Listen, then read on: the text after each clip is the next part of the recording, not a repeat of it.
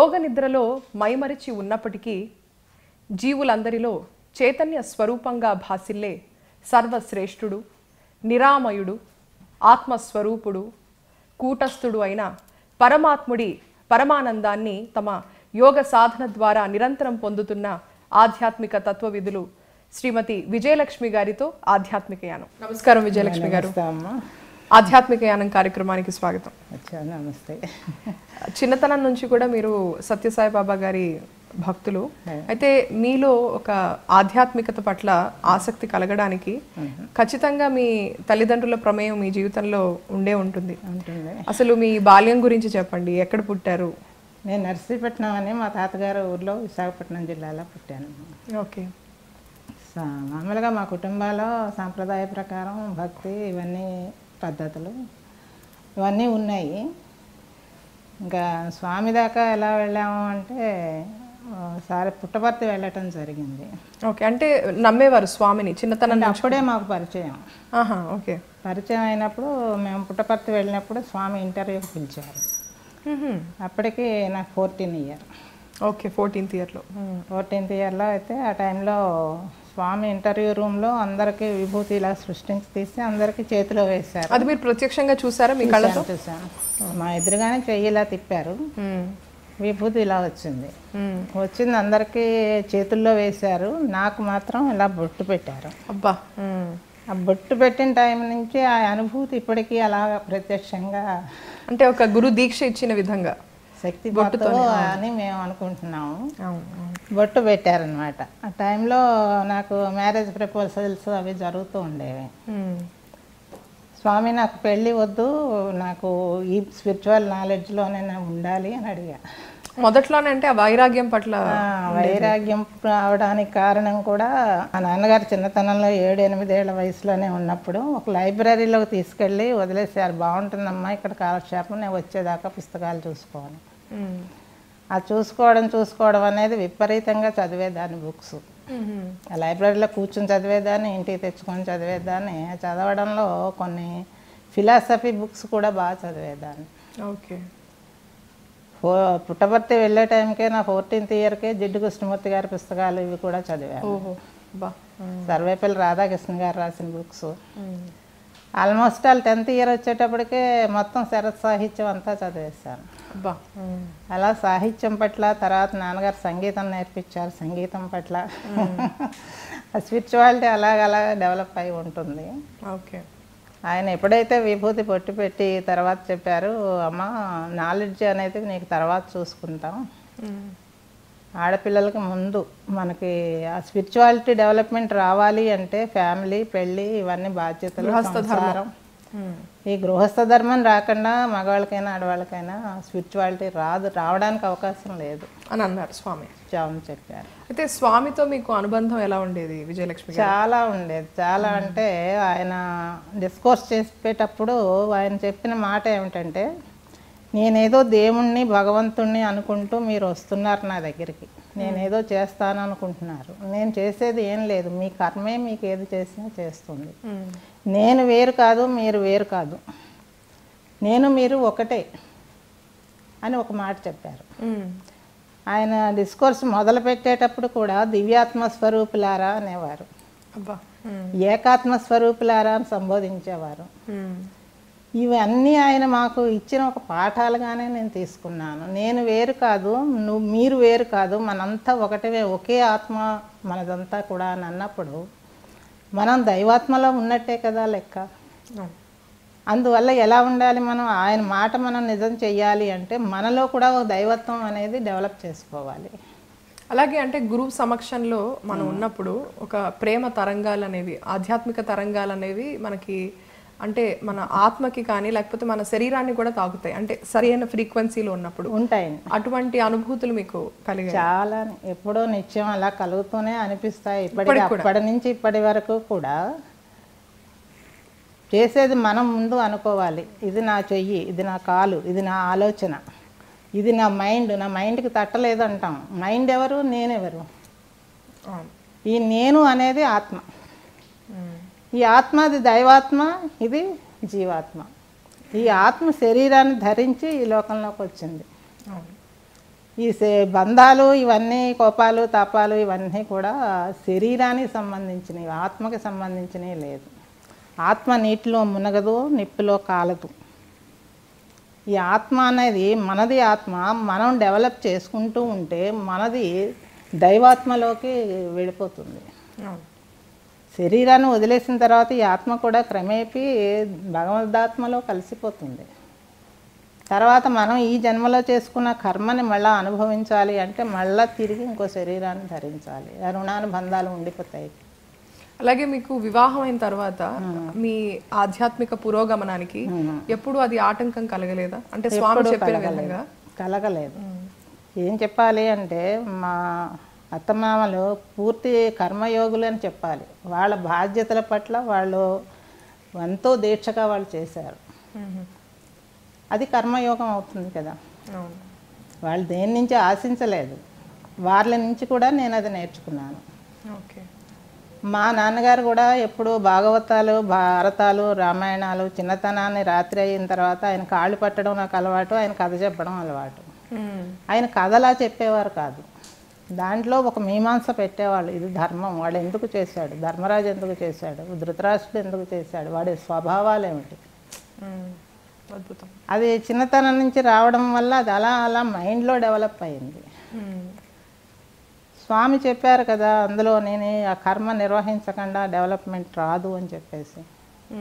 అందువలన మన బాధ్యత ఏమిటి? అది ఎంతవరకు? అది శరీరానికి సంబంధించింది. ఆత్మతో మనం విలీనం కావాల్సిన అవసరం లేదు. ఆ రకంగా నన్ను నేను డివైడ్ చేసుకుంటూ వచ్చిన డెవలప్మెంట్ అలాగే వివాహానంతరం కూడా స్వామిని సందర్శించడానికి వెళ్ళేవారా పుట్ట వెళ్ళేవాళ్ళం. స్వామిని ఊరికి సందర్శించడం కాకుండా ఆయన డెవలప్మెంట్ కోసం ఏం చేయాలి అని చెప్పారు అంటే ఆహార విహారాదులను బట్టి ఆలోచనలు వస్తాయి. ఆలోచనలను బట్టి నడవడికలు ఉంటాయి. అవి మీకు మంచి కర్మ చెడు కర్మ అన్నాయి. మీ నడవడికను బట్టి మీకు వస్తాయి. ఇంకో జన్మ కావాలా అన్- అవసరం లేదా అన్నది మీరు చేసే పనులను బట్టే మీకు వస్తాయి అని చెప్పారు. ఆ ఇటువంటివన్నీ మైండ్లోని కలెక్ట్ చేసుకొని పెట్టుకున్నాం అనమాట. చేసినప్పుడు మన బాధ్యతలు ఏమిటి ఇది ఎంతవరకు మన బాధ్యత అలాగే మీకు పిల్లలు పుట్టిన తర్వాత కూడా మీ పిల్లల్ని కూడా తీసుకెళ్ళారా ఎప్పుడైనా స్వామి వారి దగ్గరికి వారి పిల్లల దగ్గరికి? తీసుకెళ్ళడం అనేది మాకు ఇద్దరు అమ్మాయిలు ఒక అబ్బాయి ఉంది. మా ఫస్ట్ సన్ ఇన్లా మా అమ్మాయి వాళ్ళ హస్బెండ్ ఆయన స్వామి దగ్గరే చదువుకున్నారు స్వామి కాలేజీలో. అలా మా రెండో అమ్మాయి కూడా స్వామి కాలేజీలోనే చదువుకుంది. తర్వాత ఇంట్లో బాల్ వికాస్ అని పెట్టి హ్యూమన్ వాల్యూస్ ఎలా ఎవరితో ఎలా మెలగాలి తర్వాత ఈ శ్లోకాలు ఏమిటి మన రిలిజియన్స్ ఏమిటి ఇండియాలో ఎన్ని రకాల రిలిజియన్స్ ఉన్నాయి. వాటి యొక్క ఉద్దేశాలు ఏంటి ఇవన్నీ చిన్నపిల్లలకి చెప్పేవాళ్ళం ఓకే. ఇంట్లో కూడా ఆధ్యాత్మిక వాతావరణం పూర్తిగా. దాంతో పిల్లలు మా పిల్లలు డెవలప్మెంట్ అవ్వడం కాకుండా ఆ పిల్లల్ని డెవలప్ చేయడంలో వాళ్ళు బాల వికాస్ గురువుస్ అయ్యారు. ఓహో. ఒకసారి ర్యాలీ జరిగినప్పుడు స్వామి మమ్మల్ని గురువుస్ అని సంపాదించారు ఆయన గురువు అని మనం వెళ్ళినప్పుడు మమ్మల్ని గురువుగా ఆయన గుర్తించారంటే మనకు ఎంత బాధ్యతగా ఇంకా ఎంత జాగ్రత్తగా మనం వర్క్ చేయాలి అన్నది మాకు ఆయన నేర్పించింది అనమాట అలాగే ఫిజికల్ డిసిప్లిన్ మెంటల్ డిసిప్లిన్ అనేది అంటే స్వయంగా మనం ఒక పక్కన చూసుకుంటూ అంటే ఎక్కడ కూడా మానసిక స్థితిగతులు అనేవి మారిపోతూ ఉంటాయి. శ్వాస ఉన్నంత వరకు మనసు అనేది ఉంటుంది అని చెప్తారు కదా. సో వాటిని నియంత్రణ చేసుకుంటూ ఎలా ముందుకు సాగాలంటారు? దానికి ఏదైనా ప్రక్రియ ఉందా? ఉందండి. ఈ మెడిటేషన్స్ అని మనకి ప్రాచీన సాంప్రదాయం నుంచి వచ్చిన మనకి ఉన్న గొప్ప సంపద అది. ప్రాచీన కాలం నుంచి ఆఖరికి బ్రహ్మ విష్ణు మహేశ్వరులు కూడా తపస్సులు చేసుకునేవారు వాళ్ళు అది కూడా మెడిటేషన్ ఈ మెడిటేషన్లో కూడా నూట అరవై తొమ్మిది రకాల మెడిటేషన్స్ ఉన్నాయంట మ్మ్. ఒక్కొక్క మెడిటేషన్కి ఒక్కొక్క పద్ధతి ప్రోగ్రెస్ ఉన్నది ఆ. ఈ మెడిటేషన్ ప్రతి ఒక్కటి కూడా మనకి మెంటల్ బాడీ కానివ్వండి ఫిజికల్ బాడీ కానివ్వండి ఎమోషనల్ బాడీ కానివ్వండి ఇవన్నీ కూడా మనం కంట్రోల్ చేసుకునేటటువంటి బలాన్ని ఇస్తుంది స్పిరిచువల్ డెవలప్మెంట్ని ఇస్తుంది. ప్రతిదీ కూడా ఈ డెవలప్మెంట్కి మన యోగ శాస్త్రంలో కానివ్వండి వేదాల్లో కానివ్వండి అన్నిట్లోని కూడా చక్రాసు మీద ఆధారపడి ఉంటుంది. చక్రాసు అన్నది ఏం చెప్పారంటే స్వామి మాకు చెప్పింది సత్యసాబాబు గారిని మేము స్వామి అని సంబోధిస్తాం. మనసు ప్రేమ అనేది కావాలి మనిషికి. మిమ్మల్ని నువ్వు ముందు ప్రేమించుకో. నీ కుటుంబాన్ని ప్రేమించు నీ బాధ్యతలను ప్రేమించు ఆ తర్వాత బయట అంతటినీ ప్రేమించు. గుండె చిన్నదే కావచ్చు. ప్రేమించడం అనేది అనంతం. ఎంత గాఢంగా ప్రేమించాలి అంటే మనకి సూర్యచంద్రులు ఉన్నారు. ఒక్క సెకండ్ కూడా వాళ్ళు లేట్ చేయలేదు. ఇన్ని యుగ యుగాలు తరతరాలుగా ఉన్నప్పటికీ కూడా వృక్ష సంపద ఉంది. మామిడి చెట్టు ఉంటే రాళ్ళు వేసి కాయల కోసం కొడతారు పిల్లలు. అయినా కాస్తుంది మళ్ళీ ఏడాది నన్ను కొట్టారు నేను కాయను అని అనదు. ఇటువంటి వాటి నుంచి మీరు నడవడికను నేర్చుకోండి మీ డెవలప్మెంట్ని చేసుకోండి. ఇటువంటివన్నీ చెప్పారు కుటుంబంలో మాకు. ఇది మాకు చాలా ఉపయోగపడింది. పిల్లలకి మేము చెప్పడం జరిగింది. పిల్లలు కూడా బాల వికాస్ పిల్లలు బాల వికాస్లోకి వచ్చిన తర్వాత వాళ్ళకి కొంచెం యోగా నేర్పించడం ఇవన్నీ చేయడం వల్ల బ్రెయిన్ బాగా షార్ప్ అయిందే అంటూ ఎక్కువ మార్కులు చాలా బాగా గెయిన్ చేసుకునేవాళ్ళు. అద్భుతం. ఎందువలన అంటే వాళ్ళకి యోగా నేర్పడం శ్లోకాలు నేర్పడం వల్ల త్రోట్ చక్ర బాగా డెవలప్ అయ్యేది. ఆ శ్లోకాలు చెప్పడంలో ఉచ్చేస్వరం హెచ్చు స్వరం తగ్గు స్వరం బోల్డ్ అంతా సంగీతం అంతా ఉన్నది కదా. ఏ శ్లోకం ఏ రకంగా పలకాలి అని నేర్పడం వల్ల వాళ్ళకి త్రోట్ చక్ర బాగా యాక్టివేట్ అయ్యేది. యాక్టివేట్ అయ్యేది. ఈ త్రోట్ చక్ర ఎప్పుడైతే యాక్టివేట్ అవుతుందో ఈ చక్ర తాలూకు ఎనర్జీస్ క్రౌన్ చక్రాకి వెళతాయి అలాగే కుండలిని శక్తి గురించి మనకి అనేక పుస్తకాల్లో గ్రంథాల్లో చెప్తూ ఉంటారు. అయితే అసలు కుండలిని శక్తి ఎలా యాక్టివేట్గా ఉంటుంది? అంటే సామాన్యుల్లో ఎలా ఉంటుంది? అలాగే ఆధ్యాత్మికవేత్తల్లో ఎలా యాక్టివ్గా ఉంటుంది అనేది మా ప్రేక్షకులకి చెప్పండి. కుండలిని అనేది స్పైనల్ ఎంటింగ్లోని ఏడు చుట్లు చుట్టుకొని ఉంటుంది. ఒక దాని ఆకారం ఏంటంటే ఒక పాము ఆకారంగా ఉంటుంది. దాన్ని యాక్టివేట్ చేయాలి అంటే అన్ని చక్రాలని ముందు యాక్టివేట్ చేయాలి. ఓకే. చేసిన తర్వాత హార్ట్ చక్రాన్ని యాక్టివేట్ చేయాలి అంటే ప్రేమతత్వాన్ని పెంచుకోవాలి.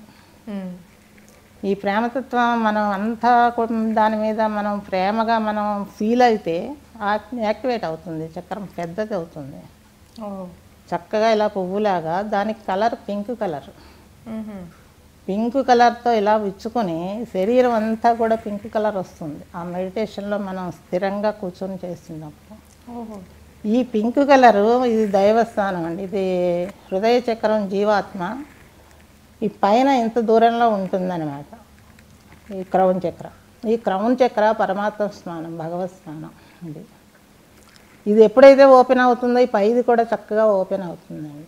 ఈ ప్రేమకి ఉన్నది లవ్ ఇస్ గాడ్ అంటారు సింపుల్గా. ఈ ప్రేమ ఎప్పుడైతే మనలో పెరుగుతుందో అప్పుడు దైవానికి సంబంధించిన ఇది కూడా పెరుగుతుంది. అయితే పుట్టే ప్రతి వాళ్ళలో కూడా కుండలిని శక్తి అనేది అందరికీ ఉంటుంది. కానీ దాన్ని ఎలా రైజ్ చేయాలన్నది టెక్నిక్స్. ఓకే. అది నిద్రాణంగా ఉంటుంది అంటారు నిద్రాణంగానే ఉంటుంది. అది పైకి లేవాలి అంటే ఒక రకమైన శక్తిని ముందు మనం గెయిన్ చేసుకొని దానితో దాన్ని నిద్ర లేపాలి. అయితే మామూలుగా తటస్థ క్రియలు ఏవైతే మనం నిరంతర జీవితంలో చేస్తూ ఉంటామో ఆ చిన్న చిన్న కార్యాలు ఏవైతే చేస్తూ ఉంటామో వాటికి కుండలిని శక్తి అవసరం ఉంటుందంటారా? కుండలిని శక్తి మనం పెంచడం వల్ల మనకు దైవస్థానానికి మనం వెళ్ళడానికి అది ఒక కరెంట్ షాక్ లాగా స్పైనల్లో నుంచి పైకి వెళ్తుంది అనమాట ఎలక్ట్రిక్ కరెంట్ లాగా. ఇలా నాడి పింగళ నాడి మధ్యలో ఉన్నది సుషుమ్న నాడి. వీటి నుంచి పైకి వెళ్తుంది అంటే దాన్ని రైజ్ చేయడానికి కొన్ని ప్రక్రియలు మనం చేయాలి. ప్రాణాయామం చేయాలి. శ్వాసతోటి మనం అన్ని లోపల అన్ని చక్రాలను యాక్టివేట్ చేయాలి. తర్వాత ఫిజికల్ ఎక్సర్సైజులు చేయాలి. వాటి వల్ల కూడా చక్రాలు ముందు పెద్దవి అవుతాయి పెద్దవి అవ్వకుండా ఆవిడ లేవదు. ఇవన్నీ లేచి మనం అన్నీ చేసి మనం దీక్షగా మనం కూర్చొని ఓపెన్గా కూర్చొని మనం ఈ ముందు చేస్తామండి. ఆల్టర్నేట్ బ్రీతింగ్ చేస్తాం. టట్టుల్ బ్రీతింగ్ చేస్తాం. బెల్లీ బ్రీతింగ్ చేస్తాం. Only పొట్టతో at a time breathing. Hmm. Inhale and exhale at a time చేయాలి. ఓకే. ఇలా చేసిన తర్వాత అప్పుడు మెడిటేషన్లో కూర్చున్నప్పుడు అందరి దేవతల్ని మనం ఆహ్వానం చేయాలి. ఇన్వకేషన్ అవసరం. ఓకే. రకరకాల దేవతలు ఉంటారు వాటి గురించి. అందరినీ మన వచ్చిన వాళ్ళు ఎక్కడ కూర్చుంటారు? ఆ స్థానం క్రౌన్ చక్రాల్లో ఉంటారు. అప్పుడు క్రౌన్ చక్ర సహస్రారం అది వెయ్యి రేకులతోటి విచ్చుకొని ఉంటుంది. వరుస వరుస ఉంటాయన్నమాట. ఒకేసారి వెయ్యి వరుస ఉండవు. కొన్ని ఇలా వచ్చుకున్న తర్వాత లోపల మళ్ళీ ఇచ్చుకుంటాయి లోపల అన్నీ ఇచ్చుకుంటాయి లోపల ఉంటుంది అసలు స్థానం అన్నమాట. మ్మ్. ఆ స్థానం పూర్తిగా మనం మెడిటేషన్లో ఓపెన్ చేయగలిగినప్పుడు ఈ కుండలిని అప్పుడు లేస్తుంది అనమాట అండి. అది సవ్యమైన పద్ధతిలో వెళ్తుంది. ఎక్కడికి సహస్రారానికి వెళుతుంది. ఓకే. ఈ సహస్రారం దాకా వెళ్ళిన టైంలోని అప్పటి నుంచి ఆ డివైన్ ఎనర్జీస్ మనకి ఇలా క్రౌన్ చక్ర ద్వారా మన బాడీ అంతా వస్తాయి. ఈ బాడీ అనేది మనకు ఫిజికల్ బాడీ మనకు తెలుసును. ఈ ఫిజికల్ బాడీలో ప్రాణం ఎక్కడ ఉన్నదన్నది ఎలా తెలుస్తుంది మనకి? ప్రాణం ఉండడానికి మనకు చుట్టూ ఎనర్జెటికల్ బాడీ ఒకటి ఉంటుంది పింక్ కలర్లో ఉంటుంది అది. ఓకే. ఈ పింక్ కలర్లో ఉన్న ఎనర్జెటిక్ బాడీ ఒక్కొక్క మనిషికి ఒక్కొక్కలా ఉంటుంది. అవును. అంటే కొంతమందికి చూస్తే ఆరాస్ కనిపిస్తూ ఉంటాయి అని అంటారు.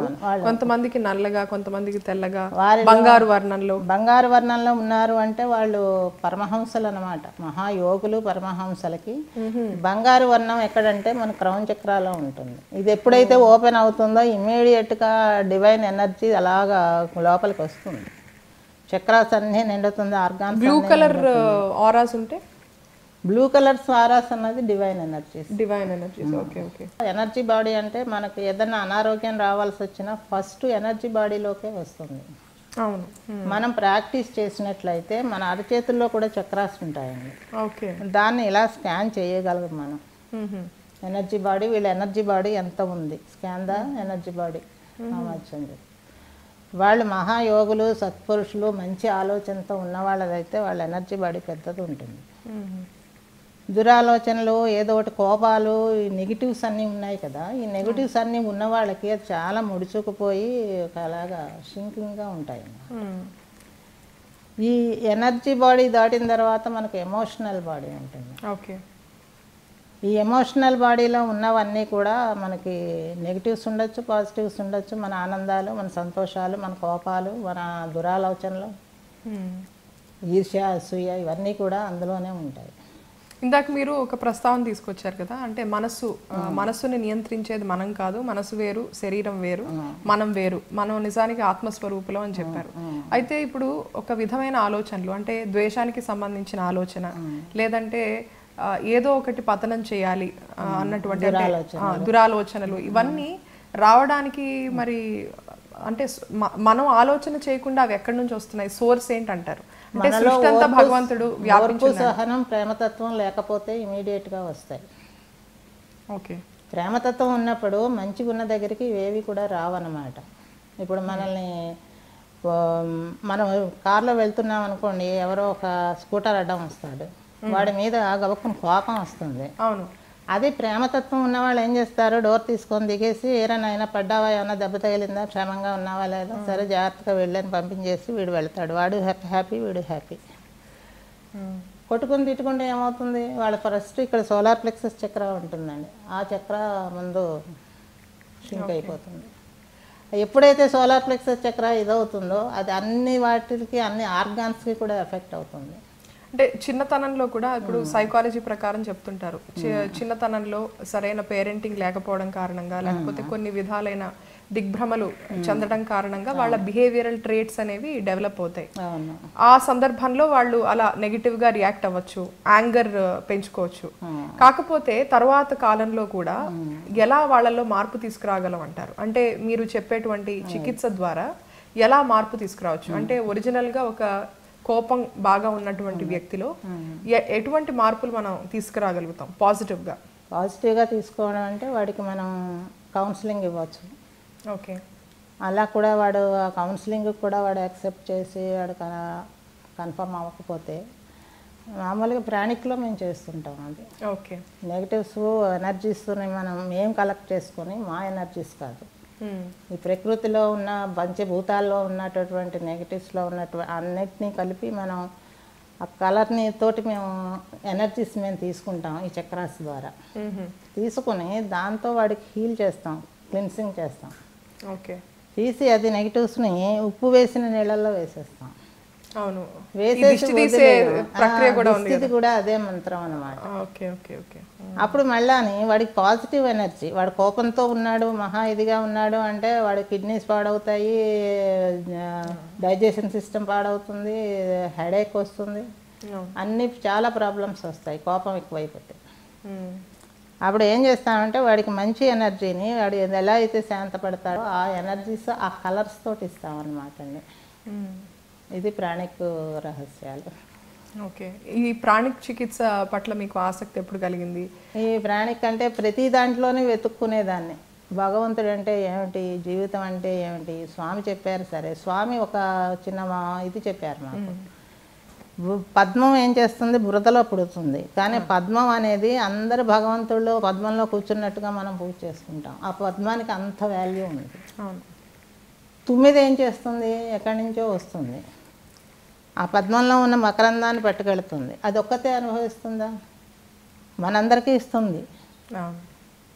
ఆ తుమ్మిదిలాగా మారండి మీరు అన్నారు. మీరు గ్రహించండి. గ్రహించిన దాన్ని అందరికీ పంచిపెట్టండి. మరి ఏం చేస్తుంది తుమ్మిద? ఒక్క పువ్వులోనే వాలదు. మీరు ఒక్క రిలీజియన్ అనుకోకండి. అన్ని రిలీజియన్స్ మంచివే. మీరు ఏ రిలీజియన్ ఫాలో అవుతారన్నది మీ ఇష్టం. కానీ అన్ని రిలీజియన్స్లోని ఎవరు ఏం చెప్పారన్నది మీరు గ్రహించండి. మంచిని గ్రహించమని. అది మంచిగా తీసుకుంటున్నది ఆ రకంగా మారండి అని చెప్పారు. అద్భుతం. అంటే వినేసి వదిలేయటం కాదు కదా. ఫాలో అవుతే కదా బాగుంటుంది. అలా ఇంకోటి ఏం చెప్పారంటే మరి అందరూ ఫాలో అవుతున్నారా? ఇంతమంది వచ్చారు లక్షల లక్షలు వస్తున్నారు నేను చెప్పింది చెప్తూ చెప్పింది చెప్తున్నాను. మీరు ఏం చేస్తున్నారు? పొలిమేర దగ్గర వదిలేసి వెళ్ళిపోతున్నారు. ఎంతమంది గ్రహిస్తున్నారు? వదిలేసిన వాళ్ళతో ఎలా పోల్చారంటే ఆ బురదలోని ఆ తామర పద్మం కిందని కప్పలు కూడా ఉన్నాయి. ఆ మకరందం రుచి వాటికి తెలియదు తుమ్మిది ఇలా వస్తుందో అలా పట్టుకెళ్ళిపోతుంది. ఒక విధమైన పరిపక్వత కూడా కావాలి కావాలి అంటే వారు మనకి మనం డెవలప్ అవ్వాలి అంటే మరి మహనీయులు అందరూ చెప్పారు. అందరూ చెప్పింది ఒకటే ప్రేమతత్వం ప్రేమతత్వం ప్రేమతత్వం. ఎలా వస్తుంది ప్రేమతత్వం అని చెప్పేసి మేము క్వశ్చన్ వేసి అడిగితే సేవ చేయండి. వాళ్ళకి మీకు కనెక్షన్ ఏర్పడుతుంది. ఎలాంటి సేవ అంటే మీరు ఏమీ కోరద్దు వాళ్ళ నుంచి. ఫ్రీలెస్గా మీరు చక్కగా ఏమీ కోరకుండా మీరు. చేయండి సేవ. చెయ్యండి సేవ. సేవ మీదే దృష్టి పెట్టండి. ఎవరికి చేసామన్నది ఎవరికి అవసరమో వాళ్ళకి చెయ్యండి చెయ్యటం వల్ల ఏమిటంటే మన హృదయ చక్రం బాగా పెద్దది అయిపోతుంది. అందువల్ల మేము మెడిటేషన్ చేసిన ప్రతి టైంలో మొత్తానికి ఎర్త్ని మేము బ్లెస్ చేస్తాం ఎర్త్ మీద ఉన్న అందరినీ బ్లెస్ చేస్తాం. ఎవరైతే నిరాశతో ఉన్నారో వాళ్ళకి ఆశ కలగాలి. ఎవరైతే బాధ నొప్పితో ఉన్నారో వాళ్ళకి ప్రశాంతత కావాలి ఇలా ప్రతి ఒక్కళ్ళని ఎవరో వాళ్ళు మనకు తెలియని అవసరం లేదు అందరినీ మనం బ్లెస్ చేసే కొద్దీ మన హృదయ చక్రం పెద్దది అవుతుంది అందరి పట్ల ప్రేమ వస్తుంది. మన మీద మనకి ప్రేమ వస్తుంది. ఈ ప్రేమ వలన మనం బ్లెస్ చేయడం వల్ల మంచి కూడా జరుగుతుంది. విజయలక్ష్మి గారు అసలు ప్రాణిక్ హీలింగ్ గురువు గారి విశేషాల గురించి చెప్పండి. వారు ఎక్కడి వారు? వారి దగ్గర ప్రత్యక్షంగా మీరు దీక్ష తీసుకున్నారా? ఆ విశేషాలు చెప్పండి. యాక్చువల్లీ ఇది మనకి అనంతమైన సిలబస్. మనకి యోగా అనగా అవును. ఇందాక చెప్పారు చాలా రకాలైన ఉన్నాయి. ధ్యానాలు ఉన్నాయి అని చెప్పారు. ఇంత దాంట్లో ఆయన చో మాస్టర్ చోవా కోక్సుయి గారని ఈయన కెమికల్ ఇంజనీర్ ఫిలిప్పీన్స్లోని చైనీస్ ఆయన. ఓహో ఓకే. అయితే ఆయనకి తపన వచ్చింది. ఏమిటో ఇదంతా తెలుసుకోవాలి తెలుసుకోవాలి తెలుసుకోవాలి. ఆయనకు ఓన్గా కెమికల్ ఫ్యాక్టరీ ఉంది. అయినప్పటికీ తెలుసుకోవాలని ఆయన హిమాలయాలకు వెళ్ళి అక్కడ ఋషుల్ని వాళ్ళని అందరినీ పట్టుకొని ఆహా వచ్చేసింది వినేశాను చాలని చెప్పేసి ప్రాక్టీస్ ఇంటికి వెళ్ళి చేసుకుంటాను వచ్చేసి ప్రాక్టీస్ చేస్తే మోకాళ్ళ నొప్పులు వచ్చేసినాయి ఆయన. అప్పుడు ఆయన నేనేదో పొరపాటు చేశాను లేకపోతే ఏం జరిగిందో అని మళ్ళీ ఆయన హిమాలయాలకు అవతల వైపుకి వెళ్ళారు. అక్కడ ఒక చైనీస్ గురువు గారు మైలింగ్ గారి మహాగురుజీ మైలింగ్. గారు ఆయన ఉండి నాయన నువ్వు తప్పు చేస్తున్నావు. ఇది కరెక్ట్ పొజిషను ఇది పద్ధతి అని చెప్పి ఆయన అప్పుడు అన్నీ నేర్పిస్తే ఇమీడియట్గా సెట్ సెట్ అయిపోయింది. ఆ టైంలో ఆయనకు అనిపించింది ఇంత గొప్ప ఉన్నదా? దీంట్లో ఇంత సంపద ఉన్నప్పుడు మన ఒక్కళ్ళమే ఏమిటి ఇదంతా ప్రపంచానికి పంచిపెట్టాలి. కాకపోతే ఇప్పుడు మాకు ఫ్యామిలీ లేడీస్ వీళ్ళు ఇవన్నీ చేయాలి అంటే వెళ్ళి తపస్సులు చేయాలంటే ఎక్కడ అవుతుంది? వీళ్ళకు ఒక సులభమైన పద్ధతి మనం కనిపెట్టాలి అని చెప్పేసి ఎన్నో రీసెర్చ్లు చేసి ఒక చిన్న చిన్న సల్పస్ కింద ఆయన తయారు చేశారన్నమాట. తయారు చేసి అందరికీ చెప్పడంలో మొత్తం ఇది వరల్డ్ అంతా పాకిపోయింది. ఓకే. ఒకసారి మనం దాని ఇదేమిటో తెలిసినప్పుడు వదలం కదా. అలాగా మా ఫ్రెండ్ వీళ్ళందరూ వెళ్ళి నేర్చుకుంటూ నువ్వు రా అని చెప్పేసి అంటే వెళ్ళాను. ఏమిటో తెలుసుకుందాం. ప్రాణిక్ అంటే ఏమిటి ఇది? అప్పటి వరకు రకరకాల మెడిటేషన్స్ ట్రై చేశారు? రైట్ రకరకాల ఎస్ఎస్వై చేసాము ఇంకా వేరే వేరే ఏదో ఇక్కడ ఉన్నది అంటే అది ఏమిటో తెలుసుకోవాలి. వెళ్ళి చేసేవారు. చేసేదాన్ని. ప్రక్రియలన్నిట్లో. పుస్తకాలు తెచ్చుకొని పూజలు మూడేసి గంటలు చేసేవాళ్ళం. తర్వాత భగవంతుడి పట్ల. చాలా ఏమిటి? భగవంతుడు అంటే ఏమిటి? కనిపించిన వాళ్ళ గురించి తెలుసుకోవాలి. ఉన్నదన్నది ఏదో నిజం అనిపిస్తోంది అబద్ధం కాదు. లేకపోతే ఇంత ప్రాపగండ అవ్వదు కదా. అవునవును. అయితే మనం ఎందుకు తెలుసుకోలేకపోతాము అని చెప్పి ఓ తపన అన్నమాట. మ్మ్.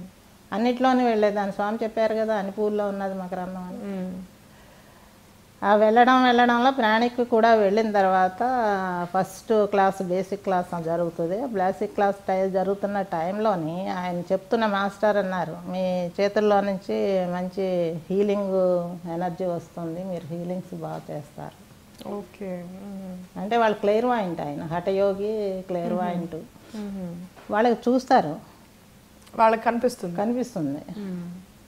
వాళ్ళు నేర్చుకున్నప్పుడు ఎంత వీళ్ళ కెపాసిటీ ఎంత అంటే మేము స్కానింగ్ చేస్తాం. చేతులకి టచ్ అవుతుంది. వాళ్ళకి టచ్ కూడా అవసరం లేదు చెయ్యి కూడా అవసరం లేదు. కళ్ళతోటే తెలిసిపోతుంది వీళ్ళది మాత్రం కెపాసిటీ. దీంట్లో ఇలా ప్రాక్టీస్ చేయగా చేయగా చేయగా వస్తుంది. కృషి ఉండాలి కదా. అయితే తొలుతగా మీరు అక్కడ స్టార్ట్ చేశారు బేసిక్ బేసిక్. నేర్చుకునగానే ట్విన్ హార్ట్స్ మెడిటేషన్ అనేది నేర్పారు మాకు.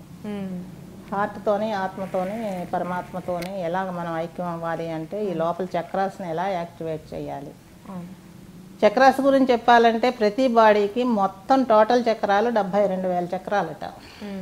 మనకేంటంటే వేదంలో తెలిసిన షట్ చక్రాలు అంటే. అవును. ఎవ్రీ చక్ర ప్రతి చక్ర కూడా మన శరీరం లోపల ఉండే ఆర్గాన్స్ని ఆర్గనైజ్ చేస్తూ ఉంటుంది. బేసిక్ చక్ర ఉంది భూమిలో నుంచి ఎప్పుడు కూడా ఎనర్జీ వస్తూ ఉంటుంది. మనం తీసుకోవాలి దాన్ని. అవి పామ్ చక్రాస్ అని అరికాళ్ళలో ఉంటాయి. బేసిక్ చక్ర ఆ ఎనర్జీని తీసుకొని బాడీ అంతటికి కూడా సప్లై చేస్తుంది. దానిపైన సెక్స్ చక్ర ఉంటుంది. ఈ సెక్స్ చక్ర ఏం చేస్తుందంటే మన జననావయాలు ఇవన్నీ ఉన్నాయి కదా వాటిని అన్నిటినీ కూడా ఆర్గనైజ్ చేస్తుంది. చేయడంతో పాటు ఈ భూ బేసిక్ చక్ర మనకి కాళ్ళకి శక్తిని పంపిస్తుంది బాగానే. సెక్స్ చక్ర కూడా థర్టీ పర్సెంట్ పంపిస్తుంది. ఓకే. తర్వాత పైన నేవల్ చక్ర ఉంటుంది మన బెల్లీ పాయింట్ దగ్గర ఈ నేవల్ చక్ర మన జీర్ణావయవాలని కొంత మెంటల్ బాడీని మ్మ్. వీటిలన్నిటిని కూడా అది కంట్రోల్ చేస్తుంది దానిపైన సెంటర్ పాయింట్ ఈ రిప్స్ మధ్యలో ఉండే ఖాళీ ప్రదేశంలో ఒక సోలార్ ప్లెక్సస్ ఫ్రంట్ బ్యాక్ కూడా ఉంటాయి మ్మ్. ఇవన్నిటికీ ఎమోషనల్ బాడీని కంట్రోల్ చేయడం ఒకటి. ఈ ఎమోషనల్ దాంట్లోనే వస్తుంది పట్టుదల పంతం ఇది నేను సాధించి తీరాలి అని ఛాలెంజింగ్ పవర్ ఇవి ఉంటాయి ఈ కోపాలు ఇలాంటివన్నీ కూడా ఉంటాయి. దాన్ని ఎక్కువ కంట్రోల్ పెట్టుకుంటే మనకి ఈ thymus gland heart chakra front ఉంటుంది బ్యాక్ ఉంటుంది. హార్ట్లో ఉండేదంతా పాజిటివ్ ఎనర్జీ పాజిటివ్ ఫీలింగ్స్ దయ కరుణ ప్రేమ అన్ని రకాలు అక్కడే ఉంటాయి. దీన్ని పెద్దది చేయడం ద్వారా మనలో ఉండే ఈ కోపాలు నెగిటివ్స్ పోవటం జరుగుతుంది బయటకు. ఇది థైమస్ గ్లాండ్ అని కూడా యాక్టివేట్ చేస్తుంది. దానివల్ల ఫిజికల్ హార్ట్ని పైన లంగ్స్ ఉంటాయి లంగ్స్ కూడా మనకి బ్రీతింగ్ని బాగా కంట్రోల్ చేసేటటువంటి ఇది తర్వాత ఇక్కడ ఉండే థ్రోట్ చక్ర. ఈ థ్రోట్ చక్ర మనిషిలో ఉండే క్రియేటివ్ పవర్ని డెవలప్ చేసేటటువంటిది థ్రోట్ చక్ర ఇక్కడ నుంచి పైన జామైనర్ చక్రాస్ ఉంటాయి. ఈ బ్లడ్ని పైకి బ్రెయిన్ దాకా సర్క్యులేట్ చేసేటటువంటి పనులు కూడా చూస్తాయి. అలా ప్రతి దానికి చెవులకు కానివ్వండి కళ్ళకి మొక్కకి ఏమిటి అన్నింటికి కూడా చక్రాస్ ఉన్నాయన్నమాట. మ్మ్. జాయింట్స్కి జాయింట్స్ చక్రాస్ మైనర్ చక్రాస్ ఉంటాయి. ఈ చిన్న చిన్న ఉన్నాయేమో ఈ ప్రతి జాయింట్ దగ్గర ఉండే మినీ చక్రాస్. ఇవన్నీ ఆరోగ్యానికి ఉండేటటువంటి ఇది. వీటిని యాక్టివేట్ చేసుకోవడం ద్వారా బ్రీతింగ్ ఎక్సర్సైజుల వల్ల తర్వాత ఫిజికల్ ఎక్సర్సైజుల వల్ల తర్వాత ప్రశాంతంగా మనం అందరినీ ఇన్వోక్ చేసుకొని దేవతలను అందరినీ ఇన్వోక్ చేసుకొని ప్రశాంతంగా మనం మెడిటేషన్లో కనుక వెళ్ళిపోతే వెంటనే వెళ్ళాం ఇవన్నీ చేయాలి. చేసి కళ్ళ మూసు కూర్చున్నప్పుడు అప్పుడు కుండలినికి కొంచెం ఐడియా వస్తుంది లేద్దామని. ఓకే. చాలా కష్టం అంటే సాధన అనేది మనం సాధన చేసే కొద్దీ ఒక ఆనందం వస్తుంది. అవును. అంటే మొదట్లో మీకు ఎటువంటి మార్పులు కలిగే శరీరంలో? మొట్టమొదట మేము బేసిక్ చక్ర బేసిక్ క్లాస్ నేర్చుకోగానే రోజు టిన్ హార్ట్స్ మెడిటేషన్ అని ప్రాక్టీస్ చేసేదాన్ని. చేస్తున్నప్పుడు ఒక రకమైన ఆనందం కలిగేది. ఆ టైంకి నాకు కొంచెం స్పాండ్లైటిస్ ఉన్నది కొద్దిగా షుగర్ ఉంది. నాకు తెలియకుండానే ఒక ట్వంటీ డేస్ చేయగానే నాకు అవి రెండే పోయినాయి. నార్మల్కి వచ్చేసింది షుగర్ స్పాండ్లైటిస్ ఇంకా లేదు నొప్పి లేదు. మ్మ్. అమ్మ ఇంత మెరుగు ఇంత బాగున్నప్పుడు లాభం ఉన్నప్పుడు మనం ఎందుకు దీన్ని వదిలిపెట్టాలని ఏలూరులో నేను బేసిక్ నేర్చుకున్నాను. ఏలూరు నుంచి వన్ మంత్లోనే. వచ్చేసి ఇక్కడ హైదరాబాద్లో. అమీర్పేటలో అన్నపూర్ణ సమితి ఏదో ఉండేది. అక్కడ చెబుతున్నారంటే వెళ్ళి అడ్వాన్స్ క్లాస్ నేర్చుకున్నాను ఓకే. అడ్వాన్స్ క్లాస్లో ఏం చెప్తారంటే మనం కలర్స్ తోటి హీలింగ్ చేయడం మ్మ్. సైకోథెరపీ క్లాస్ ఉంటుంది. ఓకే. ఈ కలర్స్లోంచి తీసుకోవడం ఎలా అంటే మనకు బయట మనకు వైట్గా కనిపిస్తుంది వెలుగు కానీ దాంట్లో ఏడు రంగులు ఉంటాయి. ఓకే. ఆ కలర్స్ని మేము ఇలాగ ఈ చేతి చక్రాల ద్వారా హార్ట్ నుంచి మనస్ఫూర్తిగా భగవంతుని ప్రార్థిస్తూ కలర్ తీసుకొని హీలింగ్ చేస్తాం అన్నమాట. అంటే స్వానుభవంతో తెలుసుకోగలిగారు? తెలుసుకోగలిగాం. తెలుసుకున్నప్పుడు ఇంకా మనం అనుభవం అవుతున్నది కదా ఒక్కొక్కటి ఒక్కొక్కటి ఒక్కొక్క రకమైన అద్భుతం వస్తుంది. అయితే ఈ మధ్య కాలంలో కొన్ని కాంట్రవర్సీస్ కూడా వచ్చాయి. అంటే మనిషి ఇక్కడ కూర్చొని దూరంగా ఉన్న వాళ్ళకి హీలింగ్స్ ఎలా ఇస్తారు? అది ఎలా సాధ్యపడుతుంది? ఆ, వస్తుంది. ఇప్పుడు మనకి దేనికి చేస్తున్నాము? ఎనర్జెటిక్ బాడీకి చేస్తాం మనం మ్మ్. ఫిజికల్ బాడీకి కాదు. మేము చేసే హీలింగ్ ఎనర్జెటిక్ బాడీకి చేస్తాం. మ్మ్. ఈ ఎనర్జెటిక్ బాడీకి చేసినప్పుడు వాళ్ళు ఎక్కడో అమెరికాలో ఉంటారు. నాకు ఇప్పుడు రన్నింగ్ కేసులు అయితే నాకు యూఎస్ నుంచే ఉన్నాయి. ఒక ఐదు కేసులు. అంతకు మునుపు కొన్ని కేసులు చేశాను. మ్మ్. అలానే సింగపూర్ నుంచి. తర్వాత ఇక్కడ లిబియా. ఈ కేసులు ఉన్నాయి. ఫోన్ ద్వారా వాళ్ళు చెప్తారు. ఫోన్ ద్వారా చెప్పిన వెంటనే మేము స్కాన్ చేసుకుంటాం. వీడికి ఏ అవయవం బాగోలేదు. అది సరిగ్గా తెలుస్తుందా? తెలుస్తుంది. వాళ్ళు చెప్పకపోయినా? చెప్ అంటే చెప్తారు మాకు ఇది బాధ. ఓకే. ఒక్కసారి ఏం చెప్తారంటే వాళ్ళు చెప్పిన బాధ కన్నా మేము స్కాన్ చేసినప్పుడు వాడి అసలు బాధ ఏమిటి అన్నది తెలుస్తుంది. ఓహో ఒక బాగోలేనప్పుడు అంటే దాని మూలం రూట్. రూట్కి మీద దాకా మేము వెళ్తాం అనమాట ఎందుకు వీళ్ళకి కొంతమంది చాలామంది తలనొప్పితో వస్తారు. వాళ్ళ ఉద్దేశం ఏంటంటే తలలో ఏదో ప్రాబ్లం ఉంది నాకు చెప్పండి చేయండి. కానీ అసలు ప్రాబ్లం ఏంటంటే వాళ్ళ బీపీ ఎక్కువైపోయి ఉంటుంది ఓకే ఓకే అంటే బీపీ వాళ్ళు చూపించుకోలేదు వాళ్ళు చూసుకోలేదు వాళ్ళకి తెలియదు.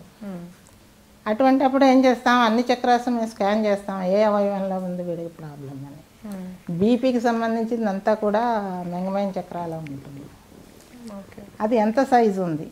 మ్మ్. ఈ సైజుని బట్టి వాడికి ఎంత బీపీ ఉన్నది అన్నది మనకి తెలుస్తుంది. అయితే ఇవంటే ఒక ఏకాంతంలో చేయాల్సి ఉంటుందా అంటే హీలింగ్ ఇచ్చేవాళ్ళు? హీలింగ్ ఇచ్చేవాళ్ళు ఏం లేదు. మమ్మల్ని కూర్చుంటాం చేస్తాం. ఒక్కొక్కసారి ఏమవుతుందంటే మాకు ఈ సాల్ట్ వాటర్ బౌల్ పెట్టుకుంటాం. మ్మ్. ఈ తీసిన నెగిటివ్స్ మళ్ళీ బయట వేయకూడదు.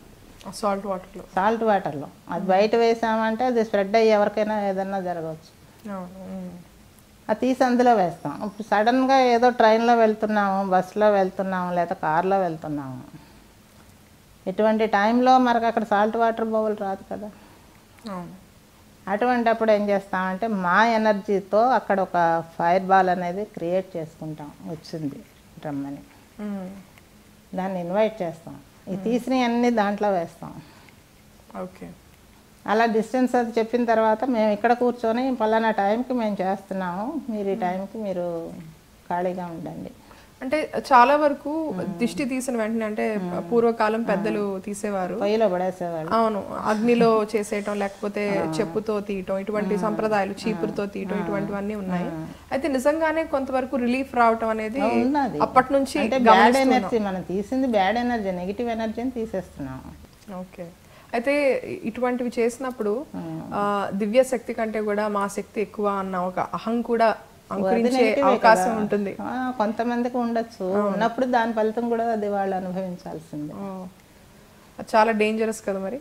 అంటే కత్తి మీద సాము లాంటిది నిజానికి. అత్తి మీద సాము మనం ఏది చెయ్యాలన్నది దానికి కొన్ని కొన్ని పద్ధతులు ఉన్నాయి కదా. హరి వంట చేయాలన్న పద్ధతులు ఉన్నాయి. నాకు వంట అయిపోయింది లేని స్టవ్ కట్టకుండా వచ్చేస్తే ఏమవుతుంది? అవును. ఇది అంతే. అంటే సరిగ్గా చెప్ గురువులు చెప్పిన దాన్ని సక్రమంగా ఫాలో చేయాలి. చెయ్యడం అయిపోయిన తర్వాత ఈ కట్ చేసుకున్న తర్వాత మళ్ళీ మేము ఇన్వోక్ చేసిన దేవతలందరికీ కృతజ్ఞతలు చెప్పుకుంటాం. ఇతనికి మంచి ఆరోగ్యం ఇచ్చినందుకు మీ కృతజ్ఞతలు. ఇక్కడ నేను అనేది రాదు కదా. నేను చేస్తున్నాను అనుకోండి నాతో చేయిస్తున్నారంటాను నేను. ఇప్పుడు మానసికంగా కొంత డిస్టర్బ్ అయిన వాళ్ళకి కూడా మీరు సైకోథెరపీ అండి చాలా ఉంటుంది. ఆ, ఎక్స్పీరియన్స్ చెప్పండి. ఎటువంటి అబ్బాయి ఆటిజం కేసు నయం చేశానమ్మా పూర్తిగా తగ్గింది తగ్గింది. ఇప్పుడు థర్డ్ క్లాస్ చదువుతున్నాడు స్కూల్కి వెళ్ళి. చక్కగా సంగీతం పాడతాడు స్టేజీ మీద కీర్తనలు పాడతాడు మృదంగం వాయిస్తాడు వీణ వాయిస్తాడు ఆ లెవెల్కి పెరిగాడు అనమాట అబ్బాయి. అది ఆరు నెలలు పడుతుందేమో ఆ కేసు కనుక్కున్నాను. మూడు నెలల్లో వాడు బాగయ్యాడు. అంతా వైలెన్స్కెళ్ళి ఆటిజం అందులోనే. అంతా పోయింది ఇప్పుడు. అంటే ఎటువంటి సంతృప్తి కలుగుతూ ఉంటుంది? అంటే ఎటువంటి స్వ స్వలాభాపేక్ష లేకుండా మీరు హీలింగ్స్ అన్ని చేస్తూ ఉంటారు కదా? అది ఎలా కలుగుతుందంటే స్వామి ఒకసారి మాకు చెప్పినది డిస్కోర్స్ టైంలో ప్రతిసారి భజన చేస్తున్నారు. భజన అయిపోగానే సర్వేజన సుఖినోభవంత్ అంటారు ఇలా చేతులు పెట్టి. సర్వేజన సుఖినోభవంత్ వాళ్ళు అవ్వడానికి మీరు ఏం చేస్తున్నారు అన్నారు. గట్టిగా తగిలింది అది. మరి ఇలాంటి సర్వీస్ చేసినప్పుడు స్వామి చెప్పిన మాట నేను చేస్తున్నాను అంటే మా ఫలితం మాకు ఉంటుంది దాన్ని నేను ఎందుకు కౌంట్ చేసుకోవాలి. అది ఎక్కడో ఒకటి ఆ అకౌంట్ వెళ్ళిపోతుంది. ఈ మెడిటేషన్ చేసినా ఏవైనా చేసినానమ్మా వెంటనే మేము భూమి లోపలికి పంపించేస్తాం వచ్చిన ఎనర్జీని మా దగ్గర పెట్టుకోం మెడిటేషన్ చేస్తాం అయిపోయింది. చక్కగానే అందరినీ బ్లెస్ చేసేసాం భూమిని బ్లెస్ చేసాం. ఎవరైతే అనారోగ్యంతో ఉన్నారో వాళ్ళందరికీ ఆరోగ్యాన్ని ఇస్తున్నాను. చాలా ఎక్సెస్ ఎనర్జీ వస్తుంది. మన బాడీ నిండా వస్తుంది. మనం భరించలేనంత ఎనర్జీ వస్తుంది. మెడిటేషన్ కరెక్ట్గా కనుక చేయగలిగితే కుండలిని లేచిందంటే ఎంత గొప్ప ఎనర్జీ అది అసలు. ఆ కుండలిని పైకి రాగలిగింది అంటే పూర్తిగా మనం ఇంకా వెళ్ళిపోతున్నాం అనమాట దైవం ఆత్మ దగ్గరికి ఈ ఆత్మ వెళ్తోంది. అది లెక్క. ఆ సోల్ రియలైజేషన్ వస్తుంది అనమాట అవును. అవన్నీ ఇప్పుడు ఇలాంటివన్నీ కూడా చిన్న చిన్నవిలాగా అనిపిస్తాయి మనకి. ఏవైతే నెగిటివ్తో మనల్ని బాధ పెడుతున్నాయో అవన్నీ చాలా చిన్న విషయాలు. ఓకే. అవింతలే అంత పాసింగ్ అలాగే భారతదేశం వైశిష్ట్యం ఏంటంటే అనేక రకాల పుణ్య తీర్థాలు క్షేత్రాలు మనకున్నాయి. అయితే వాటిని అన్నిటిని కూడా ఎనర్జీ జంక్షన్స్ అని చెప్తూ ఉంటారు. అయితే మీరు ఆధ్యాత్మిక స్థలాలకు వెళ్ళినప్పుడు ధ్యానం చేస్తుంటారా? వాటి శక్తి ప్రకంపనలు మీరు తెలుసుకోగలిగారా? చాలా అద్భుతంగా ఉంటాయి. సూర్యోదయం అయ్యేటప్పుడు సముద్ర ఒడ్డున కూర్చొని అలలకు దగ్గరగా కూర్చొని అక్కడ మెడిటేషన్ చేసాము అంటే అది ఏ లోకాలకు వెళ్ళిపోతున్నామో ఇంకా అనుభూతి మాటల్లో చెప్పలేము అబ్బా. అది రియల్ గాడ్ కదా వాళ్ళంతా ఇటు సముద్రం నీటి. పంచభూతాలు. పంచభూతాల్లో లీనమైపోతున్నాం అనమాట. అసలు మనం అన్నది గుర్తుండదు ఇంకప్పుడు. అంత అద్భుతంగా ఉంటుంది అదంతా అలాగే సూర్యకాంతి చంద్రకాంతి రెండు కూడా శరీరంలో పంచభూతాలు సరిగ్గా సమతుల్యం అనేది ఉండడానికి మనకు అవసరం అంటూ ఉంటారు. ఈ రోజుల్లో కొంతవరకు అంటే పూర్వం రోజుల్లో కరెక్ట్గా సూర్యరశ్మి పడే విధంగా ఇళ్ళన్ని కట్టేవారు. ఇప్పుడు ఆ ఇది లేదు కదా. సో అటువంటి వాళ్ళకి సూర్యశక్తి అలాగే చంద్రశక్తి కలగాలంటే ఏం చేయొచ్చు అంటారు? దానికి తగ్గది ఫెంగ్షుయి అని చెప్పేసి చైనీస్ వాస్తు ఒకటి ఉందమ్మా. ఓకే. వాళ్ళు కొన్ని కొన్ని సిద్ధాంతాలు చెప్పారనమాట ఇప్పుడు ఆగ్నేయ మూలలో మనకి హిందూ సిద్ధాంతం ప్రకారం ఆగ్నేయ మూలలో అగ్ని ఉండాలి. అది ఆయన స్థానం ఈశాన్య మూలలో దేవుడు ఉండాలి. అది ఒకటి ఇటువంటి చెప్పినప్పుడు నైరుతి మూలేమో ఎత్తుగా ఉండాలి అంటారు. ఇవన్నీ కూడా గాలి మన లోపలికి ధారాళమైన గాలి వెలుతురు ఇంటి లోపలికి రావడానికి వాస్తు పెట్టారు. కానీ ఇప్పుడు టౌన్స్లో మరి ఇలాంటి అపార్ట్మెంట్స్ ఇలాంటివన్నీ ఉన్నాయంటే వాటిలోకి ఇన్ని వాస్తులు కుదరవు. అవును కుదరనప్పుడు కొన్ని కొన్ని వాళ్ళు చైనీస్ ఫెంగ్షు అనే క్లాస్ చేశాను. దాంట్లో చెప్పారు. వీధి గుమ్మానికి ఎదురుగా మెట్లు పెట్టొద్దన్నారు. పక్కకు పెట్టుకోండి పర్వాలేదు. మెట్లు ఇలా ఎక్కేదంటే ఎదురు వస్తుంది. అలానే మన వీధి గుమ్మానికి ఆపోజిట్ బయట వైపు చెట్టు పెద్ద చెట్టు ఉన్నట్లయితే మీ ఇంటి లోపలికి వచ్చేటటువంటి ఎనర్జీని ఆ చెట్టు లాగేసుకుంటుందట రానివ్వదట. ఓకే. ఆపోజిట్లో ఆపోజిట్లో గుమ్మానికి ఎదురుగా చెట్టు ఉండకూడదు. ఆగ్నేయ మూలలో మీకు ఆగ్నేయం ఎటువైపు ఉన్నదో అక్కడ మీరు పొయ్యి పెట్టుకోవడానికి వీలు కాదరకపోతే ఒక ఎర్రటి పూల చెట్టుని అక్కడ పెట్టండి అన్నారు. ఓకే. ఆల్టర్నేటివ్స్ అలా కొన్ని కొన్ని ఆల్టర్నేటివ్స్ చేసుకోవచ్చు మనం. అలా ఈశాన్య మూలలోని వాటర్ పెట్టండి. ఏమీ లేకపోతే చెంబుడు నీళ్ళు పెట్టండి అక్కడ. అంటే దేవుణ్ణి ప్రతిష్ఠ చేయకపోతే. వాటర్ ఉండడం వల్ల దాని చల్లదనం ఇంటి లోపలికి మనకి వచ్చి కొంచెం ప్రశాంతంగా ఉంచుతుంది అనమాట సో ఇటువంటివన్నీ కూడా కొన్ని ప్రతిదానికి మనకి కొన్ని కుదరనప్పుడు మనకి అవి కూడా ఇచ్చారు. ఈశాన్య మూలలో చెట్టు ఉండకూడదు. చెట్టు ఎందుకు ఉండకూడదు అంటే చెట్టు పద్ధతి ఏమిటి? నీరు దొరికితే చాలా అది పీల్చేస్తుంది అవును. ఇంటిలో ఉన్న సంపదను కూడా అలా విడిపోతాయట. చెట్టు కనుక ఉంటే ఈశాన్య మూలలో. అని చెప్పేసి ఆ శాస్త్రంలో ఉంది. అంటే చిన్న మార్పుల ద్వారా జీవితంలో చేసుకోవచ్చు. అద్భుతమైన మార్పులు సంభవిస్తుంటాయి. భగవంతుడు మనల్ని పుట్టించినప్పుడు మన లైఫ్ అంతటికి సరిపడిన ఆనందాన్ని మనకు స్టోర్ చేసి పంపించాడట ఈ లోకంలోకి. పుట్టిన కొంతకాలం అయిన తర్వాత అప్పుడు స్వార్థం అంటే ఏమిటో కోపం అంటే ఏమిటో అవన్నీ మనం క్రియేట్ చేసుకున్నాం. విజయలక్ష్మి గారు ఆ, మీ మీ దగ్గరికి చాలా మంది వస్తుంటారు అనేక విషయాలతో. అంటే శారీరకమైన ఇబ్బందులతో రావచ్చు మానసికమైన ఇబ్బందులు లేకపోతే కుటుంబంలో జరిగేటువంటి డిస్టర్బెన్సెస్తో. అయితే ఒక మనిషి వచ్చినప్పుడు వీళ్ళు పాజిటివా నెగిటివా అనేది మీకు తెలుస్తుంటుందా? తెలుస్తుంది. ఓకే. మనం బస్సుల్లో కానీ ట్రైన్లో కానీ ప్రయాణం చేసేటప్పుడు వాళ్ళు ఎవరో మనకు తెలియదు పక్కన కూర్చుంటారు. అవును. చాలా అనీజీగా అనిపిస్తుంది కొంతమంది దగ్గర. కొంతమంది కూర్చున్నప్పుడు వాళ్ళతోటి పలకరించి చేసి వాళ్ళ పుట్టుపూర్వోత్తరాల దగ్గర నుంచి అన్నీ మాట్లాడేసుకుంటాం. ఆ ఎనర్జీస్ వాళ్ళ దగ్గర పాజిటివ్ ఉంటే అలాగా ఓపెన్గా చక్కగా అనిపిస్తుంది. ఓకే. మా అంటే ఈ క్లాసులు ఈ మెడిటేషన్లు వీటి పవర్ వల్ల ఏమంటాం? మన ఇంటి లోపలికి వచ్చేవాళ్ళు వాళ్ళు మనతో సంతోషంగా గడపడానికి వస్తున్నారా? లేకపోతే మనల్ని చెక్ చేయడానికి వస్తున్నారా? అన్నది కూడా మాకు కొంచెం టచ్ అవుతుంది. ఓ ఓకే అది అంతా నేను అనుకోవడం అదంతా కూడా మెడిటేషన్స్ పవర్ ఓకే అంటే మనకి సైన్స్ అనేది చాలా డెవలప్ అయింది. అయితే ఇటువంటి ఆధ్యాత్మిక ప్రక్రియలు కూడా తోడైతే పరిపూర్ణమైన ఆరోగ్యం సాధ్యపడుతుంది కదా. సో డాక్టర్లు అందరూ కూడా ఇటువంటి టెక్నిక్స్ నేర్చుకుంటే చాలా అద్భుతంగా ఉంటుంది. వాళ్ళకి ఏమన్నా మీరు సలహా ఇవ్వగలుగుతారు? చాలా మంది డాక్టర్స్ వచ్చి నేర్చుకుంటున్నారమ్మా. ఓకే. నేర్చుకుంటూ ఉంటే వాళ్ళని ఒక డాక్టర్ గారిని అడిగాను ఆయన భీమవరంలో నర్సింగ్ హోమ్ ఉందట. మీరు ఇంత పెద్ద డాక్టర్ అయ్యి మీరు ఒక నర్సింగ్ హోమ్ కూడా రన్ చేస్తూ కూడా మీరు ఎందుకు వచ్చారు క్లాస్ కన్నాను ఇందులో మీకు ఏమిటి ఉంది? అది మీరు సెవెన్ ఇయర్స్ నైన్ ఇయర్స్ కష్టపడి చదివారు. ఇది ఎంత మూడు రోజులు నాలుగు రోజుల కోర్సే కదా. దీనివల్ల మీరు ప్రత్యేకంగా పొందేది ఏమిటి అని చెప్పేసి ఆయన అడిగాను నేను. ఆయన ఏం చెప్పారంటే అమ్మ ఎవరైనా పేషెంట్ ఇదివరకు స్వింగ్ డోర్ తెరుచుకుని వస్తుంటే నాకు పచ్చనోట కనిపించేది వాళ్ళ మొహంలోనే ఇప్పుడు వాళ్ళ రోగం కనిపిస్తోంది అన్నారు అబ్బా. ఆయన చెప్పినందువల్ల ఎవరితోనో డిస్కషన్లో కూడా మనం కొన్ని పాఠాలు నేర్చుకోవచ్చు అవును డాక్టర్ అయినా మనమైనా ఎవరమైనా ముందు మనకు మానసిక పరిపక్వత మనకు ఉండాలి. ముందు మనల్ని మనం బాగు చేసుకొని మనల్ని మనం డెవలప్ చేసుకొని. అప్పుడు వాళ్ళని డెవలప్ చేయడానికి మనకు ఎక్కువ అవకాశం వస్తుంది. విజయలక్ష్మి గారు ఒక పక్కన ఆధ్యాత్మికంగా అనేక రకాల హీలింగ్స్ చేస్తూ అలాగే పురోగమిస్తూ ఆధ్యాత్మికంగా మీరు జీవితాన్ని సార్థకం చేసుకున్నారు. అలాగే గృహస్థగా కూడా మీ ధర్మాలన్నీ కూడా మీరు నిర్వర్తించారు ఇప్పటి వరకు. సక్సెస్ సో మీ హస్బెండ్ సపోర్ట్ వారి పేరేంటి వారి సపోర్ట్ ఎంత వరకు ఉంది? దాని గురించి చెప్పండి. మా హస్బెండ్ పేరు Narayanaraju. Okay. Retired deputy executive engineer in irrigation department. Okay. ఆయన ఫుల్లీ ఆయన వర్క్ చేసిన అన్ని ప్రాజెక్ట్స్ అన్నమాట. ఇరిగేషన్ ప్రాజెక్ట్స్ మీదే వర్క్ చేశారు. ఆయన చేసిన ఆయన ప్రొఫెషన్ ఆయన సక్సెస్ అయ్యారు హ్యాపీ సెవెంటీన్ ఇయర్స్ అయిందమ్మా రిటైర్ అయ్యి.